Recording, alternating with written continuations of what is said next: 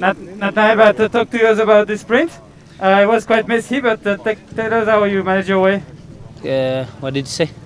Tell us, describe us a bit. Take us through the last kilometer. How you managed your sprint. Yeah, I really feel good.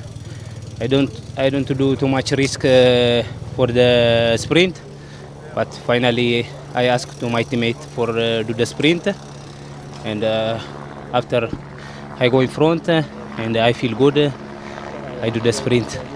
And how you managed in the sprint because that was quite special. Most of the sprinters at the end were not up there. They, they managed to pass the climb, but they were not there. How you you managed your way? Which wheel did you take? Yeah, normally I am also I am surprising. I go only for the position, and I saw all the rider was uh, tired with the with the today's uh, stage because up and down, and I stay in, in good position, and I do the sprint. Natnael, it was a strange sprint. Carapaz second, uh, you you third, but a lot of sort of climbers up there. Um, why was that? When there were so many sprinters in the group. Yeah, because of the parcours, because it's up and down.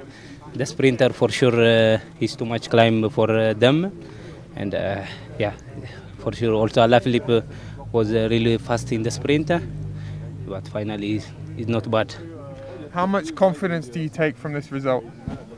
Ah, it's a good result for me, and uh, when I feel good, uh, I don't care nothing. I do all uh, the sprint, the climb, everything. I believe in myself. Thanks a lot. Thank Okay, you. thank you.